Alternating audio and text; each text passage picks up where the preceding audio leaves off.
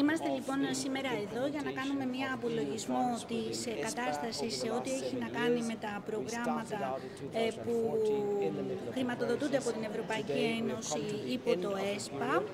Ε, ξεκινήσαμε λοιπόν το 2014 και τώρα είμαστε στο τέλος, οπότε πολλά προγράμματα έχουν ολοκληρωθεί ε, και θέλουμε να ε, παληθεύσουμε αν αυτά τα προγράμματα έχουν αλλάξει τη ζωή των πολιτών.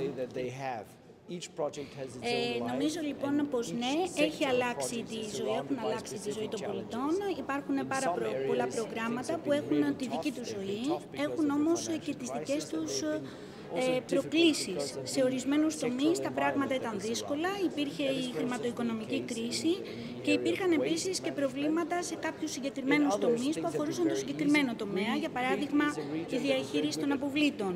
Σε πολλά άλλα προγράμματα όμως τα πράγματα ήταν πολύ πιο εύκολα, γιατί στην Κρήτη έχετε αυτό το εξαιρετικό πλεονέκτημα της εξαιρετικής συνεργασίας των φορέων. Επίσης υπάρχει και ένα πολύ ωραίο πρόγραμμα που έχει να κάνει με την ευφυή ειδίκευση και σε αυτή την περίπτωση βλέπουμε μια πολύ επιτυχή συνεργασία μεταξύ των αρχών, ΜΚΟ, αλλά και επιχειρήσεων και των τομέων και, και φορέων του δημοσίου. Λοιπόν, η πρόοδος των έργων ήταν πάρα πολύ καλή, υπήρχε πάρα πολύ καλή ταχύτητα ως προς την υλοποίησή τους. Έχουμε αυτή τη στιγμή πλήρη απορρόφηση των πόρων. ε, και θα έχουμε και ακόμα καλύτερη μέχρι το τέλος. Ε, αυτό σημαίνει ότι η διαχείριση ήταν πολύ ε, καλή ε, και επίσης υπήρχε και αποτελεσματική εκτέλεση. Τώρα, σήμερα το απόγευμα θα μιλήσουμε για το νέο πρόγραμμα, οπότε θα μιλήσουμε για τις νέες κατευθύνσεις, νέες επενδύσεις, κυρίως στον τομέα ε, της πράσιν, του Πράσινου Συμφώνου.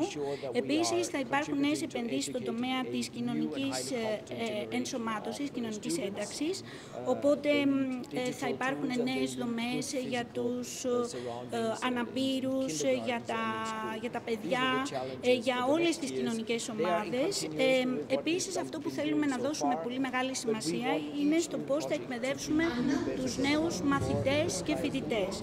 Δηλαδή, θέλουμε να υπάρχει περισσότερη ψηφιακή εκπαίδευση και το οποίο σε ορισμένους μεγάλους φορείς Πραγματική περίοδο να έχουμε προγράμματα τα οποία θα είναι ακόμα καλύτερα από τα προηγούμενα και να τελειώσω λέγοντας ότι ο ουρανός είναι το όριό μας.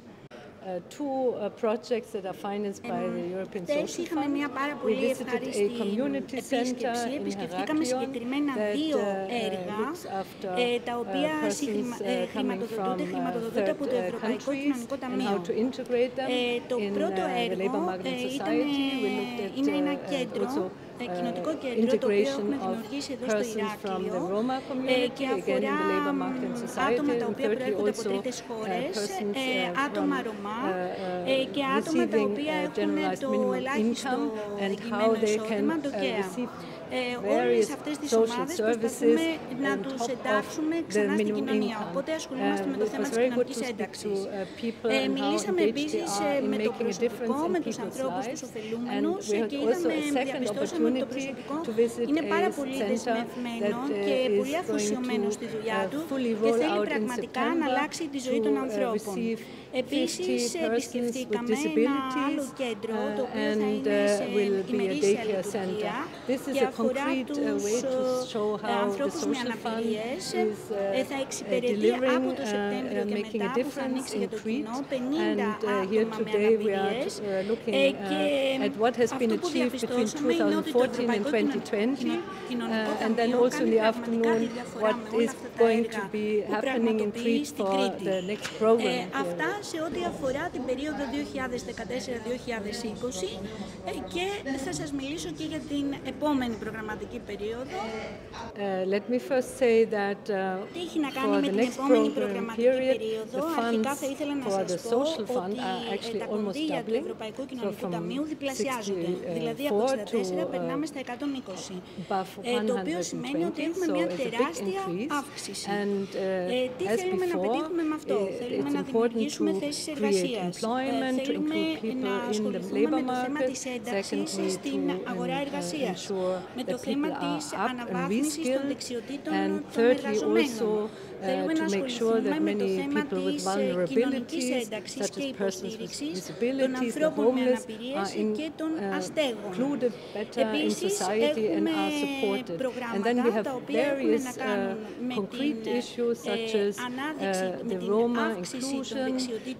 the uh, uh, better rollout of, of skilling and upskilling. So there are, there are many concrete examples. All have the same aim, to improve people's lives, to make a difference. And uh, considering that we have seen already under the previous program that uh, the unemployment rate went down by 10 percentage points, that was uh, of course also linked to a better economy, but a success. And we are looking forward that, for instance, uh, goals such as decreasing the youth unemployment rate, decreasing people that are in severe poverty and social exclusion will be implemented also under the program thanks to the various concrete projects on the ground. Και να μειώσουμε και τον αριθμό των ανέργων που ανήκουν στην κατηγορία των κοινωνικά περιθωριοποιημένων ομάδων. Ε, όλα αυτά θα γίνουν πραγματικότητα χάρη στα πολλά και διαφορετικά έργα τα οποία θα υλοποιηθούν στη νέα προγραμματική περίοδο. πρόγραμμα.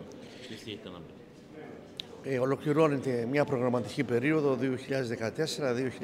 2014-2020 με πολύ θετικά αναπτυξιακά και ποιοτικά χαρακτηριστικά. Ε, τα λόγια τα οποία είπαν οι εκπρόσωποι της Ευρωπαϊκής Επιτροπής είναι επενετικά για την περιφέρεια, για τη διαχειριστική, αλλά για τη συνεργασία η οποία υπάρχει ε, με όλους τους φορείς. Ειδικά με όλους τους Δήμους της Κρήτης, με όλους τους δημάρχους και τους φορείς υλοποίησης, αλλά και μέσα από τους αντιπεριφερειάρχες μας.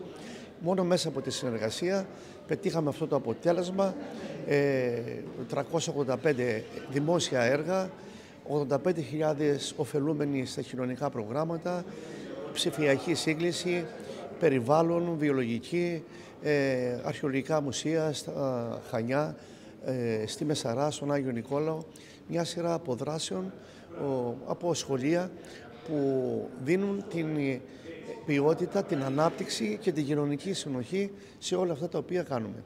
Ε, επίσης, θα ήθελα να αναφερθώ ότι λείπει ένας άνθρωπος που το είχε χτίσει ο Γιάννης ο Παλατινάκης, που πάντα πρέπει να θυμούμαστε τους ανθρώπους που βοηθούν και από την πλευρά τη δική μας αυτό το οποίο χρειάζεται, η πλήρη απορρόφηση θα υπάρχει ήδη, είμαστε στο 95%, να ξεκινήσουμε τη νέα προγραμματική περίοδο που ήδη έχουμε εντάξει αρκετά έργα.